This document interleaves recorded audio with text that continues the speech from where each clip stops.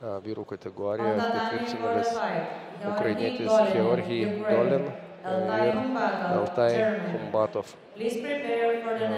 Vokietijai atstovaujantis atstovas iki 65 kg ketvirtfinalis vyrų.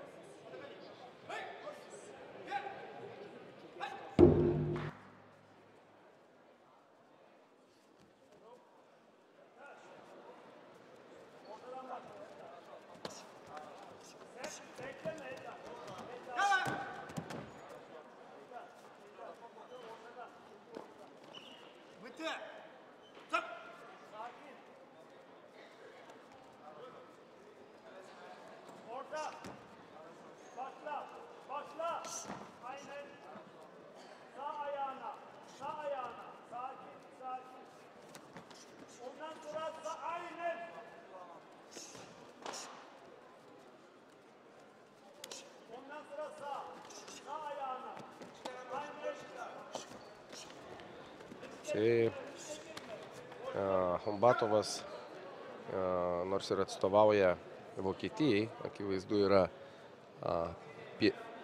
pietietiškos prigimties atstovas ir jis iš tų, kurie, nežinau jo kilmės, bet azerbaidžianiečių ar, ar, ar artimų rytų ar Kaukazo šalių atstovas ir atitinkamas ir kovos stilius vis tik, nes, nesvarbu, kuriai šaliai atstovauja, kaip Ineta Meškauskinė kažkada Lietuvai, Lietuvė Ineta Meškauskinė atstovavo Airijai, na ar kažkada tas pats Taučių Viešniauskas, Šniaukas Australijai, kai mokėsi ten, bet vis tik ta mokykla, jinai ir to šalies kovotam būdingos savybės matosi. Tai va čia toks azerbaidžianietiškas, pietietiškas kovos stilius.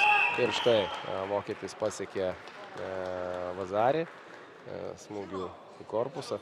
A, beje, pas jį net ant kimono yra Azerbaidžiano vėliava.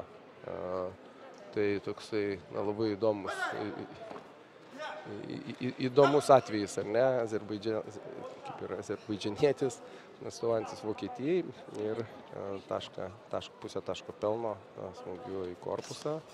Ir ukrainietis patyrė jo smūgio galę, nors iš pradžių čia atrodė lyg ir nusiteikęs nusiteikęs pergaliai, bet dabar jau ukrainietis matosi pagarbiai pribijo Kumbatovo.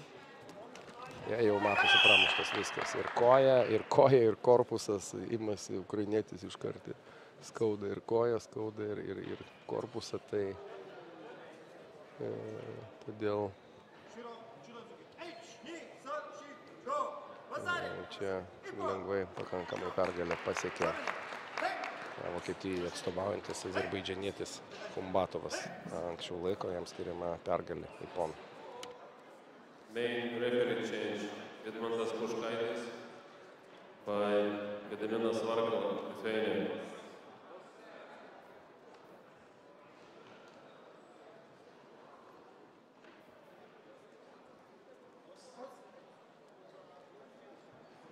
On tatami for the fight, Mindian Galadze, Georgia. Robert Stander, Sweden. Please prepare for the next fight. Romualdas Auga,